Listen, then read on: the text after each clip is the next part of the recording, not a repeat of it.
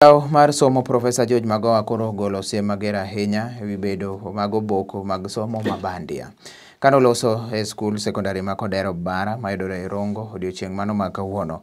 Magoha wacho ni koro siro wach mar nono obok somo mag jo Kenya kendo ber ka obi ochiw thuolo moromo ne duol mang'iyo weche mag somb mbalariany mano Commission of Universities Education CUE yango obokogo ka gin ma adiera. Mano timore seche ma koro duolno mano ma ng'iyo weche mag somb mbalarianygo ma yande ni cha koro temo nono obok mag seneta ma Nairobi Johnson Sakaja to koro nowere to kod bura ma kamano ma bende koro wach mare nosedhi nyaka e doho.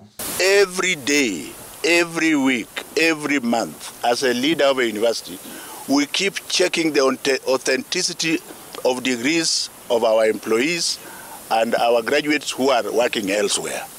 So this noise you are hearing is political. It's not professional, and I, I really don't have time to waste there. It's political. It is not professional at all.